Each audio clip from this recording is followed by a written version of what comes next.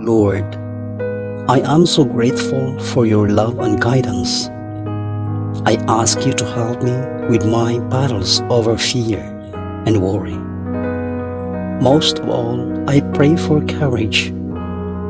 Create in me a clean heart, God, and help me to have the faith and courage to overcome any fears. Lord, there is so much uncertainty in life, but I trust that you will guide me and sustain me. Please give me the courage to be the person, friend, and loved one you created me to be. Dear Heavenly Father, you have brought me to the beginning of a new day as the world is renewed fresh and clean. So I ask you to renew my heart with your strength and purpose. Forgive me the errors of yesterday and bless me to walk closer in your way today. This is the day I begin my life in you.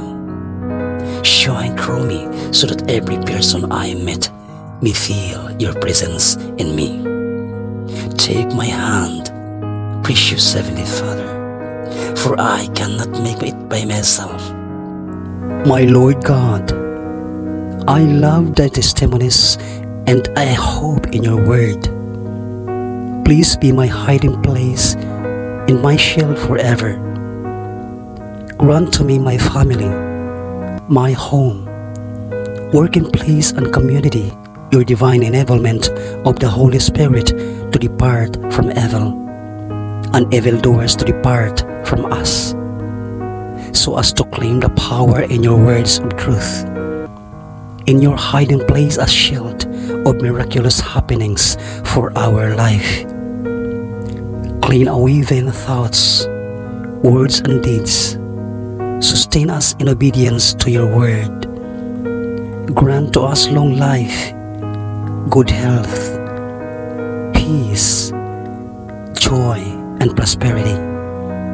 Gifts of divine wisdom, knowledge and understanding to break forth according to the manifestation of the hope in your will and purposes for our life.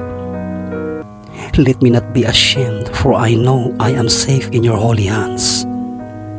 Thank you, my Heavenly Father, for all these miraculous happenings through the grace in Christ Jesus' name.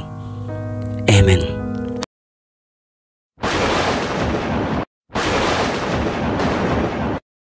Ask, and it will to you. Seek, and you will find.